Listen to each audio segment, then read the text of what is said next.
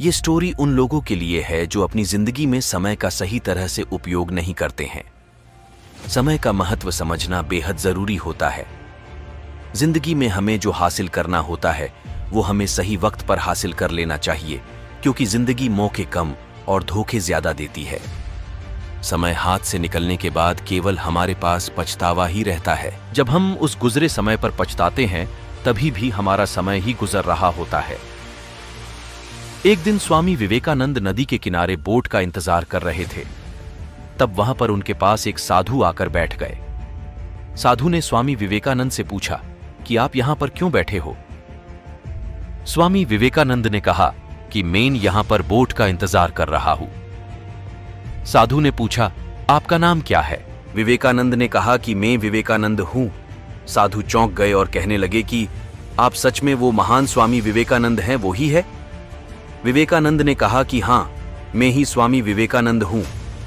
साधु ने विवेकानंद के कहा कि तो फिर आप क्यों यहाँ पर बैठे हो?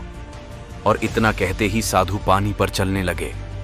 साधु ने पानी पर चलते हुए स्वामी विवेकानंद से कहा, कि देखो, मैं पानी पर चल सकता हूँ। क्या आप नहीं चल सकते हो?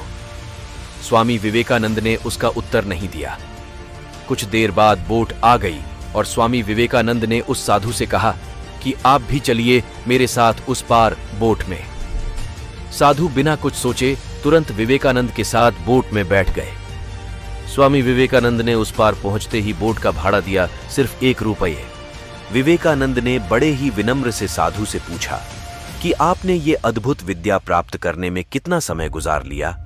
साधु ने कहा कि मैंने ये विद्या प्राप्त करने में पंद्रह साल व्यतीत किए, तब जाके मुझे ये विद्या प्राप्त हुई है। स्वामी विवेकानंद ने साधु से कहा कि आपने जो विद्या प्राप्त की है, उस विद्या के लिए केवल पचास पैसे।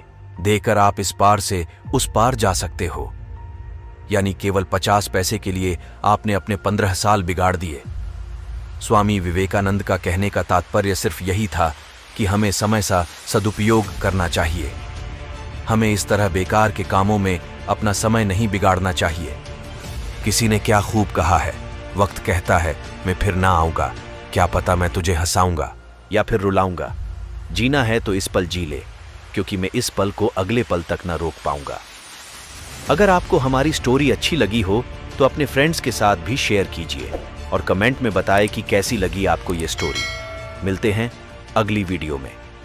धन्यवाद।